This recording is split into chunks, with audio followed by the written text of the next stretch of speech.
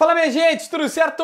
Vamos nessa então falar sobre Grêmio e nesse vídeo aqui, como sempre, reproduzir para vocês as palavras do técnico Renato Portaluppi. Renato que conversou com a imprensa eh, depois da vitória 1 a 0 contra a equipe do Palmeiras. E tudo que eu falar aqui é uma reprodução das palavras do treinador.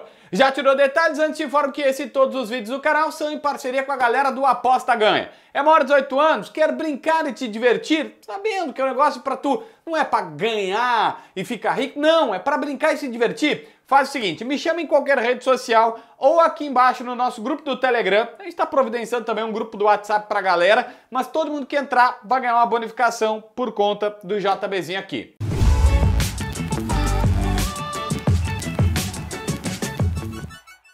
Bom, primeira questão. Renato dizendo que venceram o Palmeiras porque souberam sofrer. O Palmeiras, obviamente, é melhor, tem elenco de mais qualidade. Ele disse: olha, nosso, a nossa folha é menos da metade da que a folha do Palmeiras. A folha do Grêmio estava na casa aí dos seus 11, 12 milhões. Então o Renato está dizendo que a folha do Palmeiras é coisa de 24.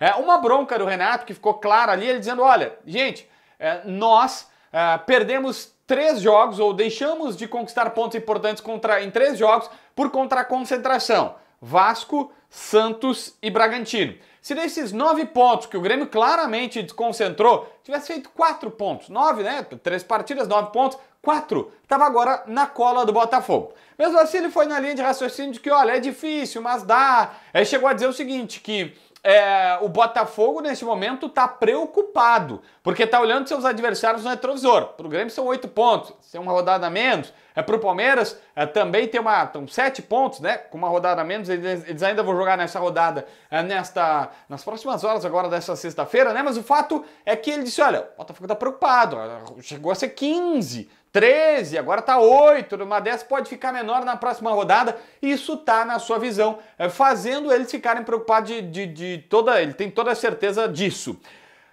Não dá para ter desempenho só na arena. É, esse é um ponto interessante porque a todo momento quando algum repórter fala isso, sempre aparece alguém e vai dizer: "Ah, tá criando crise". Não, o Renato falou isso. O Renato disse: "Olha, esse desempenho não pode ser só na arena. A gente tem que fazer o que está fazendo na arena também fora de casa". Já existe um consenso gremista que, cara, precisa ir melhor fora de casa, precisa de mais pontos é, longe é, da arena.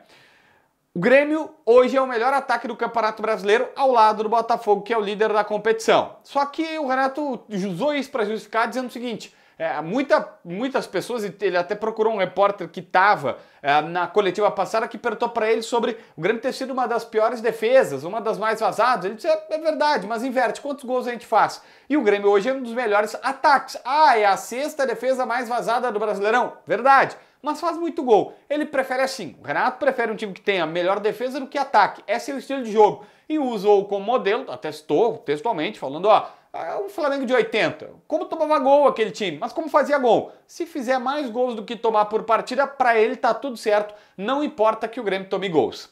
Bom, a novidade do time, da escalação, foi a presença, né? Já tinha sido contra o Corinthians, mas dessa vez em casa, e talvez uma consolidação do Natan ao lado do Cristaldo.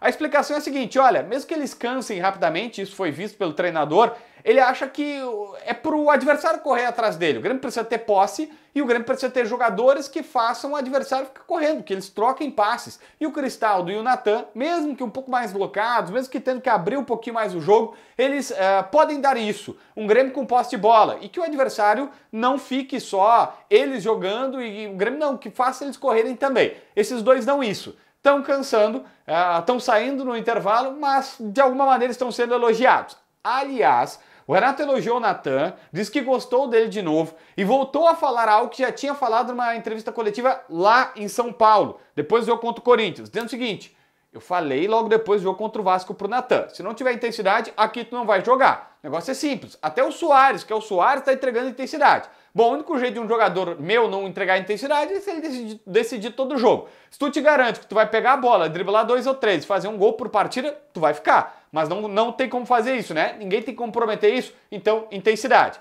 E o Renato acha que o Natan tá no caminho da intensidade. Vamos deixar assim? Porque tá jogando 45 minutos bem, tá cansando muito, ele e o Cristaldo, por isso estão saindo. Mas na média foi mais elogiado do que não vou dizer criticado, né, do que falar de outras coisas, do colocado asteriscos na sua a, apresentação. João Pedro, lateral direito. E eu reforço que é o lateral direito que o próprio Renato é, questionou quando foi perguntar. Ele disse: Ó, oh, João Pedro, eu brinquei com ele esses dias que ele vai entrar no Guinness, no livro dos recordes, Porque ele tá jogando no Grêmio tanto, mas tanto, coisa que nunca jogou na, na sua vida, na sua temporada. O João Pedro é um cara que surge na base do Palmeiras, aí vai pro Porto, aí vem pro Corinthians, passa aqui pelo Bahia também antes disso, Corinthians, aí volta pro Porto, mas joga na verdade no Porto B e nunca foi necessariamente um titular, um protagonista e tudo mais. E aqui no Grêmio está sendo. Embora o Renato elogie o Fábio, voltou a elogiar o Fábio, diz que pede para o João Pedro atacar até mais do que ele normalmente está atacando, porque ele gosta de laterais que ataquem, mas ele brincou com o João Pedro, dizendo, ó, oh, nunca jogou tanto na tua carreira. E tanto não é, obviamente que o Renato sabe que ele está jogando bem, mas não é tanto de, de, de, de, ah, como tá jogando muito, muitas vezes mesmo, porque não era uma tendência na carreira dele e agora o cara tá tendo continuidade. Se inscreve no canal, assina a notificação, deixa teu like, comenta aqui embaixo para ver mais vídeos.